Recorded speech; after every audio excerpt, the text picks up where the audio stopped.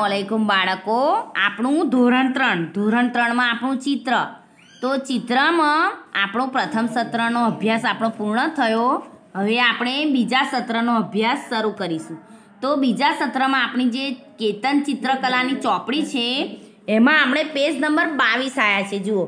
તો page number બાવીસ પર આપણને ત્રણ ચિત્રો આપેલા છે. એમાં ઘર આપણને ચિત્રો દોરેલા છે. ચિત્રો કેવી રીતે દોરેલા છે?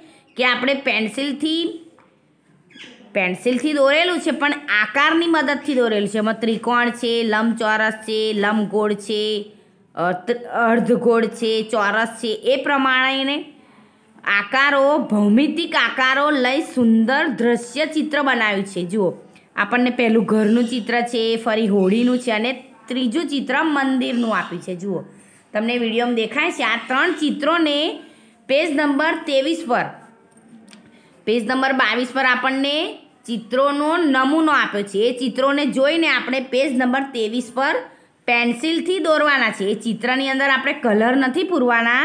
આપણે પેન્સિલથી ભૌમિતિક ભૌમિતિક આકારની મદદથી ચિત્ર તૈયાર કરવાનું છે. એ ચિત્રમાં આપણે જુઓ, તમારે ત્રણ બોક્સ દોરવાના છે. બોક્સની અંદર આપણને પેજ નંબર બાવીસ પર આપણને ચોરસની અંદર જે આકાર આપ્યા છે, એ પ્રમાણે તમારે ત્રણ ચોરસ દોરીને ચોરસની અંદર આ ભૌમિતિક આકારની મદદથી આપણે ત્રણ ચિત્ર તૈયાર કરવાના છે. એ ચિત્ર તમારે પેન્સિલથી દોરવાનું છે ને દોર, પેન્સિલથી દોરવાનું પણ અંદર આપણે રંગ પૂરવાના નથી. આ પ્રમાણે આપણે ત્રણ ચિત્ર તૈયાર કરવાના છે પેજ નંબર ત્રેવીસ પર. એ આજનું આપણું લેસન છે બેટા. ફરી બીજું શીખીશું. ચલો અસલામ આલેકુમ ખાલી દોરવાનું છે.